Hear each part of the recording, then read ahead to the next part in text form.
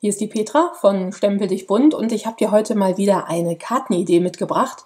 Und zwar ist es eine Pop-up-Card. Wenn man die aufmacht, dann kommt einem hier der Heißluftballon entgegen. Ja, ich finde den Effekt total klasse. Und da möchte ich dir heute gerne zeigen, wie du sowas machen kannst. Das ist nämlich im Grunde total einfach, dieses Pop-up-Element. Verschlossen wird das Ganze dann noch mit einem Magneten. Die Karte wird durch diesen Pop-up-Mechanismus relativ dick. Man sieht es, wenn man hier so von oben reinschaut.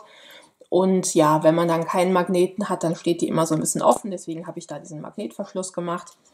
Ich zeige dir jetzt als erstes, wie dieser Mechanismus funktioniert. Ich habe hier nochmal meinen Entwurf. Und zwar ist im Grunde das Entscheidende dieses aufgeklebte Teil. Das sieht so aus, ja, im Grunde wie so eine Acht, die aus Papier, Farbkarton oder Designerpapier gemacht wird. Und wenn ich die Karte zusammenklappe, dann siehst du das jetzt. Dann gehen diese beiden Hälften sozusagen, die klappen sich nach vorne, dann werden das so Rauten und naja, die klappen sich dann eben flach und wenn man die Karte aufmacht, dann zieht sich das wieder auf und hier kann man das dann nochmal sehen, hier oben beim Zusammenklappen. Klar, der Heißluftballon klappt eben mit ein und wenn man es aufmacht, dann zieht sich diese 8 wieder auf und damit poppt dann eben dieser Ballon nach vorne. Und wie weit das nach vorne geht, hängt natürlich davon ab, wie hoch diese 8 ist. Ich habe mich jetzt hier dafür entschieden, das einen Zentimeter zu machen ist natürlich irgendwann sieht es vielleicht seltsam aus, wenn man jetzt hier so drei Zentimeter irgendwas hat, was einem da entgegenkommt. Aber da gibt's natürlich dann unterschiedliche Möglichkeiten. Und jetzt zeige ich dir mal, wie man ähm, halt diese acht machen kann aus Papier und auch einen Trick, wenn man jetzt mehrere Karten macht. Denn das kann ich dir auch noch mal kurz zeigen. Das waren meine Swap-Karten beim letzten Teamtreffen. Das heißt, ich habe da einen ganzen Packen rausgemacht. Ich habe die Luftballons dann jeweils in unterschiedlichen Farben angemalt. Gemalt habe ich die mit den Blends. Da wollte ich einfach mal ausprobieren, wie die Ballons dann in unterschiedlichen Farbgebungen aussehen. Naja, und da habe ich natürlich nicht jeweils aus einem Papierstreifen eine 8 gemacht. Ich zeige dir jetzt erstmal den äh, Weg zu Fuß und ich habe das eben auch gemacht aus Designerpapier, weil es ein bisschen dünner ist als der Farbkarton und dann wird die Karte eben nicht ganz so dick. Für diese Karte ist jetzt auch mal wieder das ähm, Falzbrett günstig, weil man da einfach die Falzen leichter machen kann. Und ich fange jetzt eben mit diesem einen Streifen an wenn, äh, wie jetzt bei mir, eben die Höhe der 8 1 cm sein soll, dann brauchst du einen Streifen mit 10 cm Länge und der wird gefalzt jeden Zentimeter. Dann wird das natürlich erstmal alles nachgeknickt. Die Idee habe ich übrigens bei Jennifer McGuire gesehen und die macht auch diese 8 aus zwei Streifen. Das heißt, die hat zweimal ähm, 5 cm sozusagen. Daraus klebt sie dann einzelne Würfel und klebt dann diese Würfel noch einmal aneinander. Aber den Schritt kann man sich einfach dadurch sparen, indem man das Papier direkt aneinander hat. Dann legt sich das eben auch schon so zusammen. Naja, und dann klebt man jetzt eben die beiden Enden jeweils auf das fünfte Feld von der Seite. Du kannst das jetzt bei dem Papier hier natürlich schlecht sehen. Ich kann das mal kurz anmarkern. Wir haben jetzt ja jeden Zentimeter eine Falzlinie gemacht. Das heißt, hier ist das, das erste Feld, das zweite Feld, das dritte, das vierte und das hier ist jetzt das fünfte Feld von der einen Seite und dann eben das Nachbarfeld ist dann auch gleichzeitig das fünfte Feld von der anderen Seite. Das klingt jetzt wahnsinnig kompliziert, äh, ist es eigentlich überhaupt nicht, weil ja klar ist, du brauchst für ein, für ein Quadrat vier Seitenteile, also vier Zentimeter und das fünfte Teil ist dann eben die Überlappung. So, jetzt kommt hier kein Kleber raus. So kommt man dann eben auf die ähm, 8 Zentimeter plus zwei Zentimeter nochmal Klebefläche So, und jetzt klebe ich eben diese, diese Zentimeterstücke immer die erste, den ersten Abschnitt in der Mitte fest. Und du siehst schon, das ist also ein bisschen fummelig. Ich habe das also für meine erste Musterkarte dann auch tatsächlich so gemacht, aber fand das doch sehr fummelig. Wenn der Kleber angezogen ist, wird dann hier in der Mitte das auch noch zusammengeklebt, dass, dass man hinterher, dass die 8 eben auch in der Mitte die Verbindung hat. So, und wenn das dann getrocknet ist, dann kann man das eben verwenden. Und jetzt zeige ich dir das nochmal, wenn du mehrere Karten machen möchtest. Ich finde es deutlich leichter so. Das Prinzip ist natürlich komplett das gleiche. Es ist halt leichter, wenn das Papier größer ist.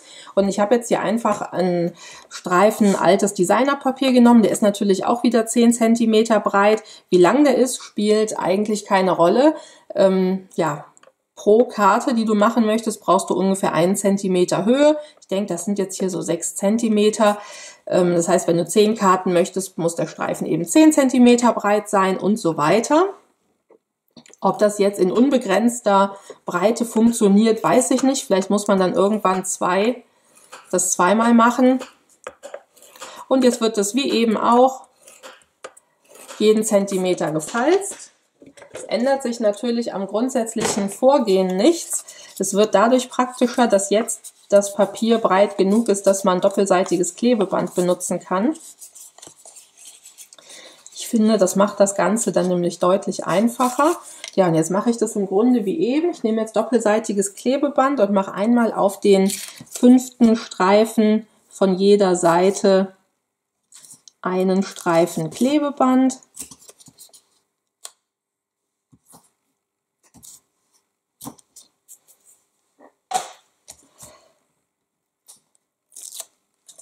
Und dann kann ich das, das äh, Papier halt so legen, dass ich jetzt mein, meine Kante von dem Papier neben das Klebeband lege. Dann muss ich es ja nur umklappen. Und schon habe ich dann diesen ganzen Streifen festgeklebt. Jetzt habe ich hier das erste Quadrat. Das mache ich dann auf der anderen Seite nochmal genauso.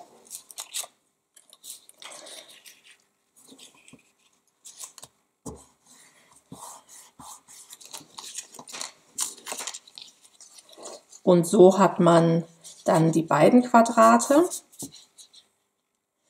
So, und dann kann ich, ähm, ja, kann ich sie natürlich entweder in der einen oder in der anderen Richtung zusammenkleben. Oft habe ich das dann auch, so haben, haben wir es jetzt gerade geklebt und oft habe ich es dann tatsächlich einmal um die Ecke gelegt. Dann hat man nämlich hier unten, du siehst das, dass der Spalt da ein bisschen breiter wird, weil da eben die Papiere doppelt liegen. Das ist die Stelle, wo die zusammengeklebt sind. Und das passt dann bei der Karte gleich auch gut in die Falz. Und deswegen ist es gar nicht unpraktisch, wenn man das dann eben auf der anderen Seite das dritte Mal klebt. Da kommt dann auch wieder ein Streifen Klebeband drauf.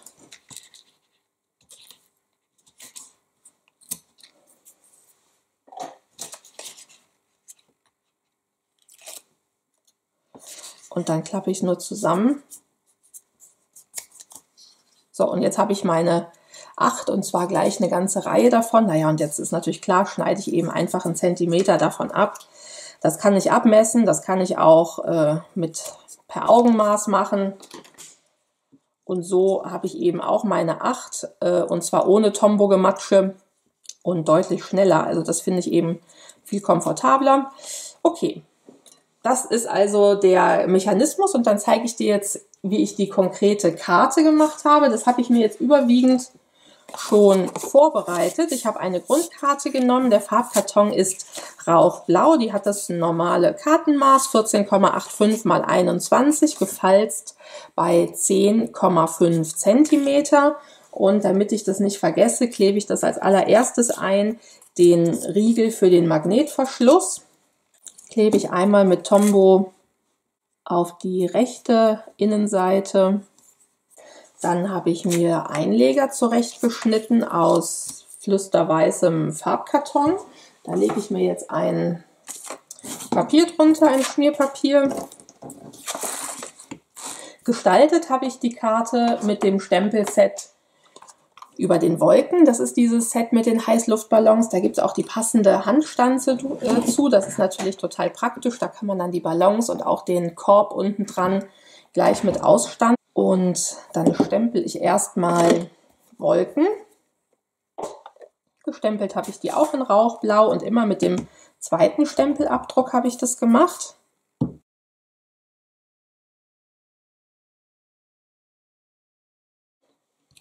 Wo ich jetzt gerade dabei bin, stempel ich auch direkt den Aufleger vorne auf der Karte ähm, für, den, für die Innenteile, die beiden äh, Farbkartonstücke, die haben jeweils ein Maß von 14,35 mal 10 cm. Die sind also einen halben Zentimeter kleiner als die Karte. Der Aufleger für vorne hat ein Maß von 13,85 mal 9,5. Der ist 1 cm kleiner. Die Maße schreibe ich dir natürlich wie immer in den Blogartikel. Den Link dazu findest du unten in der Infobox. Und den Aufleger für vorne, da stempel ich auch die Wolken einmal kreuz und quer über das Papier. Der zweite Blauton, den ich genommen habe, ist Blaubeere. Damit habe ich die kleinen ähm, Heißluftballons gestempelt im Inneren der Karte. Die fliegen dann nämlich noch einmal auch so von links nach rechts im Hintergrund. Und auch den Spruch auf zu neuen Horizonten. Vorne auf den Aufleger habe ich noch ein paar Vögel gestempelt. Und dann kann ich jetzt schon anfangen, die Karte zusammenzusetzen. Ich klebe jetzt als erstes die Einleger im inneren Bereich auf. So sieht das jetzt aus. Und als nächstes wird dann eben dieser Mechanismus eingeklebt. Und den klebe ich dann mit Tombow fest, damit es auch wirklich richtig gut hält. Da kommt auf eine Rückseite dieser Acht, also auf eine breite Seite, kommt ein bisschen Tombo. Ja, und dann setze ich den so in der Höhe an, wo hinterher der Heißluftballon oder der obere Teil des Heißluftballons sein soll. Und ich gucke, dass jetzt, dass jetzt hier in der Mitte eben, wo die beiden Quadrate zusammenkommen, der Spalt genau mit der Falzlinie der Karte übereinstimmt oder eben möglichst genau dann drücke ich es gut fest.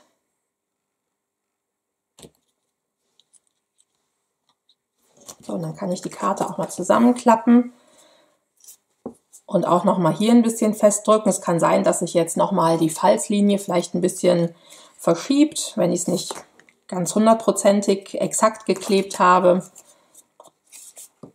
So, und so siehst du halt, wenn ich die Karte aufmache, klappt sich die 8 wieder auseinander. Dann kann ich jetzt hier schon auf die Lasche einen, ein Magnetpaar anbringen, beziehungsweise klebe ich natürlich nur den einen fest. Schon einmal den unteren Magneten. So, und das lasse ich jetzt noch einen kleinen Moment trocknen. In der Zeit mache ich hier schon mal die äußere Seite äh, weiter. Die Mattung ist auch in Blaubeere und hat ein Maß von 14,35 mal 10 cm. Die kann ich schon festkleben. Und bevor der Aufleger drauf kommt, klebe ich den Magneten fest.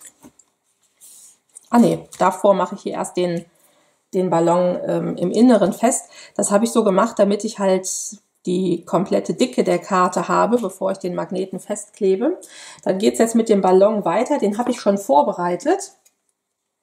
Den habe ich nochmal hier in dieser kunterbunten Version gemacht, gestempelt auch in Blaubeere und dann mit den Blends, das ist Osterglocke, grüner Apfel und Kussrot. Einfach einmal ausgemalt. Ich habe da auch gar nicht schattiert. Und jetzt muss ich den Ballon, der ins Innere der Karte soll, der muss einmal gefalzt werden und zwar einmal längs in der Mitte.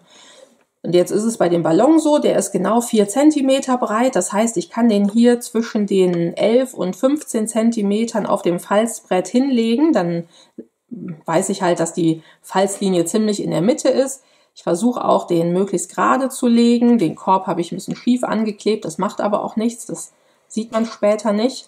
Und dann falze ich das einmal mit dem Falzstift nach. An dem Übergang, wo es zusammengeklebt ist, gehe ich so ein paar Mal hin und her. Und auf dem Falzbrett ist es halt jetzt angenehmer zu falzen, weil ich den Ballon besser festhalten kann als in dem Schneidebrett. So, und dann knicke ich den Ballon auch einmal zusammen. Und der kommt jetzt auf diese 8. Das habe ich mit Glue Dots befestigt. Da mache ich auf jede Hälfte der 8 einen Glue Dot kann man so prima zur Seite legen, nicht verwirren lassen. Das, was jetzt rechts ist, ist nicht oben, sondern das ist dann eben das Seitenteil. Und dann klebe ich zuerst die eine Seite auf. Da gucke ich, dass die auch parallel zu meiner Mittelfalz verläuft, dass ich die gerade klebe. Dann klappe ich den Ballon um, klebe die zweite Seite auf. Den kann man dann noch mal so ein bisschen hin und her machen. Gucken, ob das auch alles funktioniert. Ja, und wenn ich jetzt die Karte zumache, du siehst das, dann klappt sich der Ballon eben mit ein. Auch hier kann ich jetzt noch mal das nochmal alles richtig in Form drücken. Und jetzt kann auch der zweite Magnet aufgeklebt werden. Dafür klappe ich die Lasche einfach um. Dann kommt als nächstes der Aufleger vorne drauf.